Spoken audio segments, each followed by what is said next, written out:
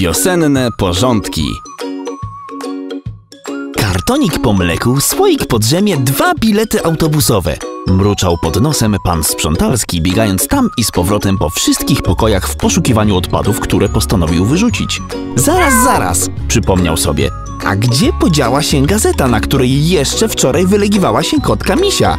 Przeczytałem ją od początku do końca i teraz jest mi już zupełnie niepotrzebna. A stary fotel, który skrzypi zdradliwie, gdy na nim siadam wieczorami?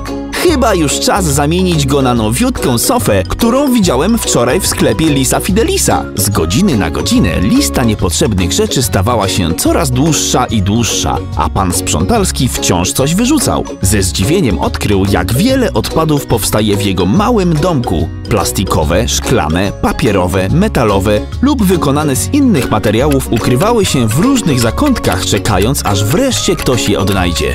Końcu, gdy wszystkie niepotrzebne rzeczy zostały już wyrzucone, pan sprzątalski postanowił odpocząć. Ze znużeniem przysiadł na świeżo zakupionej sofie i zaczął rozmyślać nad pyszną, gorącą herbatą z ulubionym sokiem malinowym. Gdy właśnie zamierzał udać się do kuchni, aby ją sobie zaparzyć, do drzwi zapukał zaafrowany żółw Wincenty.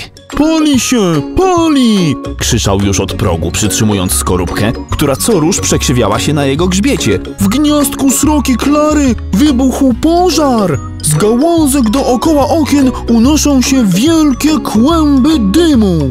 Cóż było robić? Nie było czasu do stracenia.